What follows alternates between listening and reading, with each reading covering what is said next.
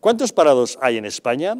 El paro registrado determinaba que a finales de marzo había un total de 3.548.312 demandas de empleo.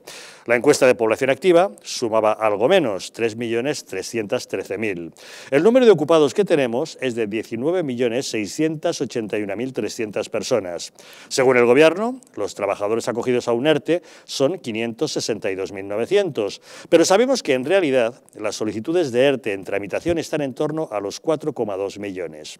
Y si a esto le sumamos los más de 1.100.000 autónomos que se han acogido al cese de actividad, podemos afirmar que en España hay 8,6 millones de parados. Así lo pone de manifiesto nuestro compañero Carlos Cuesta en la información que firma hoy en OK Diario y que titula El desastre económico de Sánchez. Los parados estructurales y temporales suponen ya el 37% de la población activa.